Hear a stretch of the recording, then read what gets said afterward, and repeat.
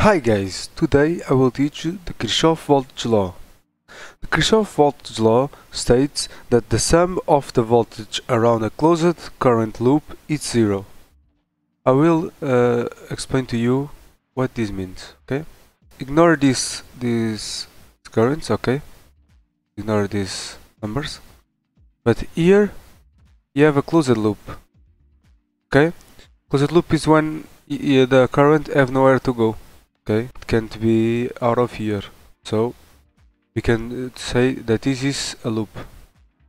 We'll call it i1 and here we have another one. We'll call it i2 okay? Well let's do the calculations okay? First of all we know that the ohm's law is v equals 2r s i multiplied by i so let's do the math. We know that here we have a voltage supply, so uh, Vs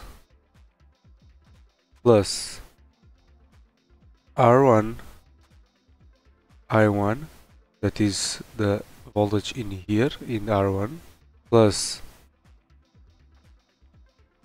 I1 minus I2 okay? Because i1 is going down here at here. I1 is going down and i2 is going up. Okay?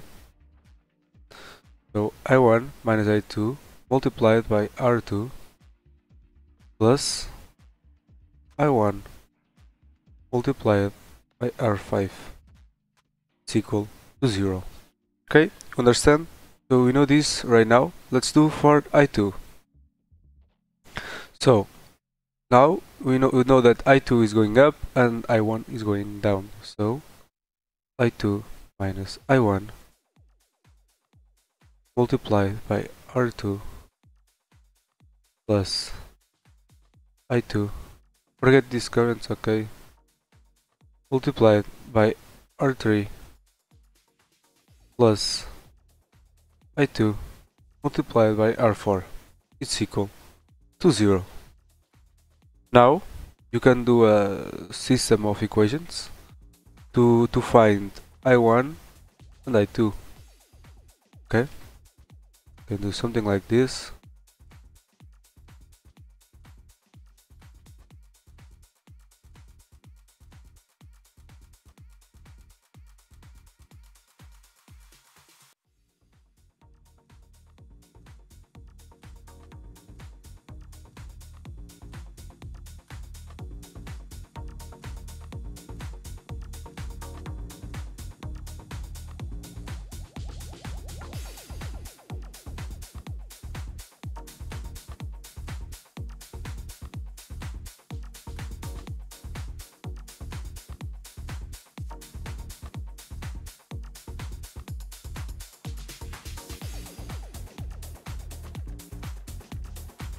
To be simple I will put like R1 is equal to R2 equal to R3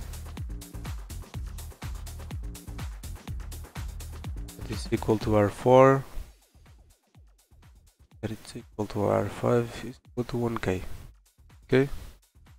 And now I will uh, give this I don't know uh, 12 volts. Okay? The power supply. Volts Okay, let's do the math.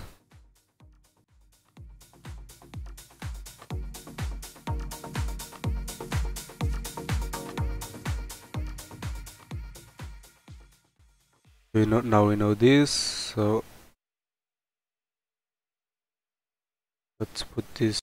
So let's do like this. Okay.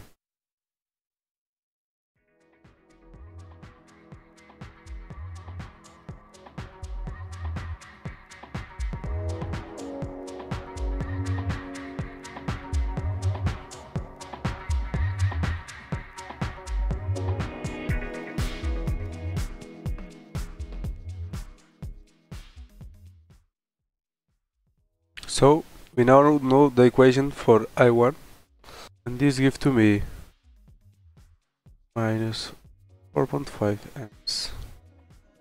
So now we can put it in here and we know that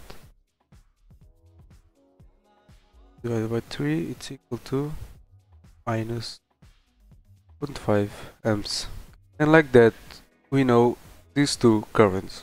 Okay guys this is always like this okay guys? We can put more uh, uh, loops uh, but uh, the concept is this okay? Thanks for watching and I see you on the next video